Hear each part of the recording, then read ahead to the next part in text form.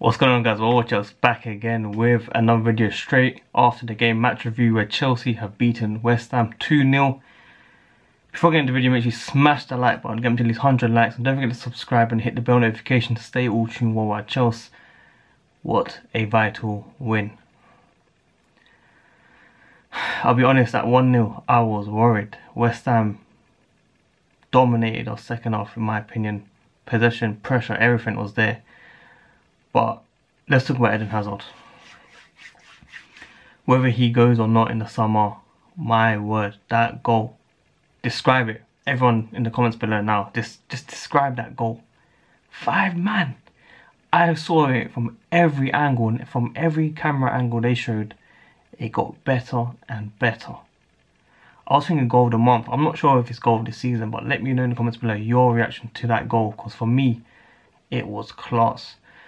And whether he goes or not, honestly, thank you for everything, man. This is why he is the difference in the team right now. Two goals for him today. World class. Best player in the league. I'm going to say it again.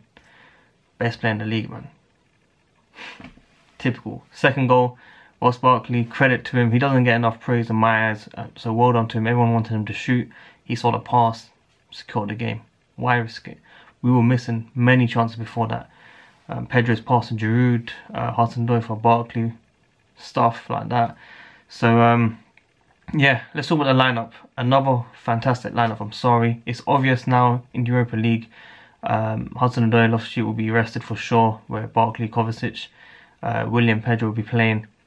Um, I was a bit disappointed Christensen didn't start today, but nevertheless, to see the two players like we've been talking about, we wanted them to start and they started today, guys. Um, I think in the first half, it was very, very good. I think Kante for me was the best player in that first half. He was doing nice flicks, shooting the ball, you know, setting up back heels, everything. He had his overall game has just improved on the Sarri in my eyes, and you know I got I got to give credit to Sarri for that because he's changed him into a player that I never imagined him before this season. I'm being honest now. I've always seen him as defensive midfielder, like you know, staying back, winning the ball back, but now his overall game is getting better and better, and I just love it. Um,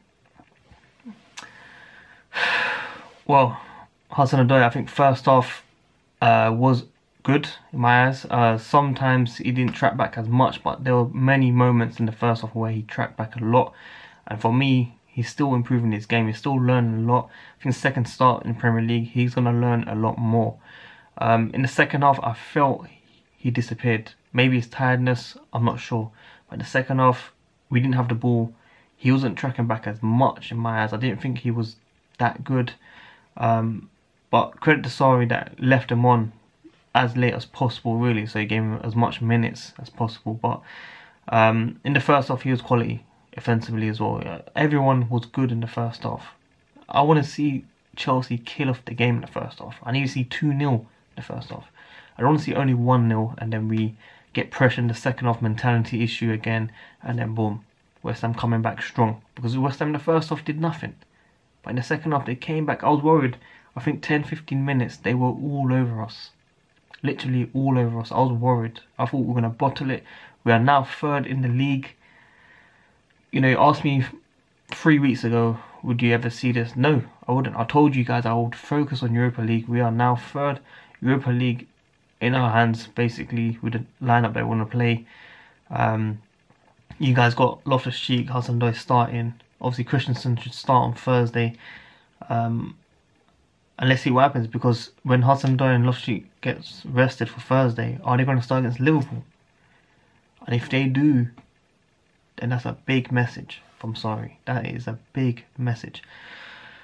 But yeah, um, overall defensively, I think Rudiger did good in my eyes. Um, you know, I've been very critical of him recently, but I think this game he done well. I saw a lot of passion, a lot of hustle, passion.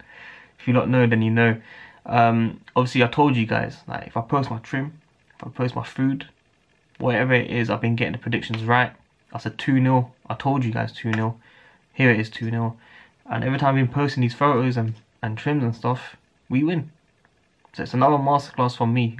I'm being honest now, so I'm happy, man. But yeah, I want to hear your man the match. Obviously, everyone's going to say Hazard because he scored two goals, but you know, in the first half, I felt Kante he done very good. He's been getting a lot of criticism recently from some sections of Chelsea fans on Twitter, but I think today he's silenced them basically. I know I got one good friend, Vish. Uh, he's not the Kante biggest fan, but today he was like, "Yeah, I put my hands up. He done well." So respect for that man. That's what I want to see in Chelsea community. We need to see positive outcomes because we're not out of anything. Still top four, third place so far. Europa League. We can end on high. We can end on high. Don't forget, guys. April 11th, the appeal against FIFA, the ban. Whatever happens, we'll go to CAS if it doesn't go right, and hopefully we can buy some players in the summer. Um, and also, obviously, Luis Campos talks. People saying in my previous video, bid 10 million for him. I told you guys, 3 million, 4 million, 5 million, I don't care what it is, bring these players in. But yeah, today's game was important. We have three games in six days. This is the first one out of the way. Thursday, I'm looking forward to it, man. But yeah, the buzz before this game was there, man. It was there.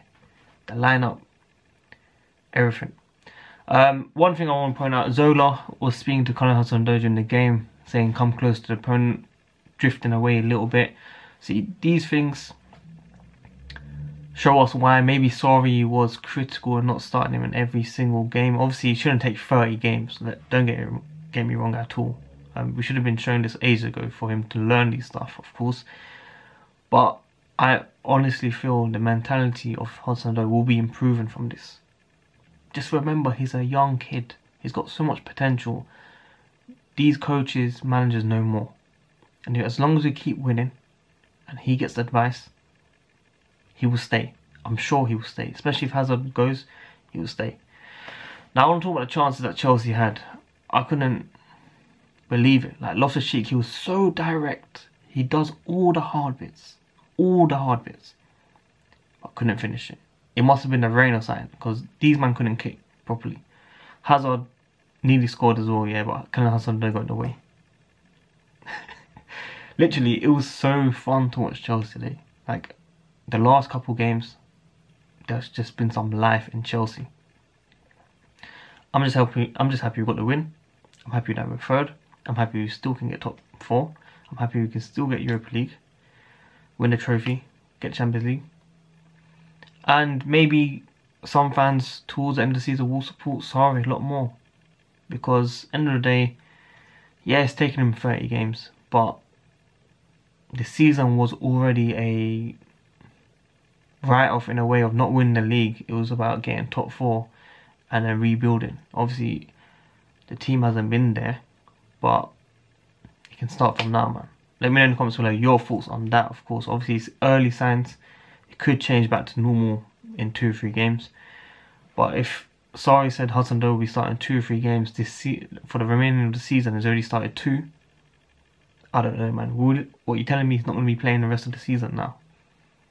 Let's be real now. So, yeah, it was nice. Um, Arsenal dropped points yesterday. Um, perfect weekend, and now we've taken advantage. Monday, perfect day for me. Uh, obviously, usually it's depressing for everyone. No football, boring, want a day to get rid of. And then we've got the win. So, I want to hear your opinions on whether we should get top four and win Europa League. Should we focus on Europa League, or do you think we should just go all out for top four only? Let me know in the comments below. And let me know your lineup for the next game against Slavia Prague. Um, I don't know what I'm going to expect. I expect everyone to be rested. Uh, Higuain um, to be rested. Giroud to come on. Obviously to start. His top scorer or joint top scorer, and he should be getting more goals. Willian Pedro for sure.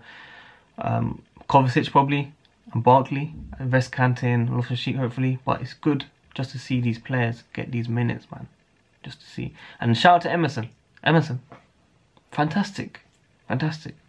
I'm not saying he's the best player for Chelsea, like left back and stuff, that we need him, but he's a lot better than Alonso. And even Azpi, he done okay. Like I'm not going to be too critical of him. Clean sheet, 2 0. Let's be positive, man. No negatives today. No negatives. Yeah? So, obviously, guys, I hope you enjoyed this video. I'm happy. You lot are happy. smash the like button, get me to at least 100 likes, and don't forget to subscribe and hit the bell notification. I post all my reviews straight after the game. Please check out always. If you miss it, check my Twitter. And yeah, transfer videos coming up hopefully in the next couple months. But yeah, WorldWideChels. I'm out. Peace.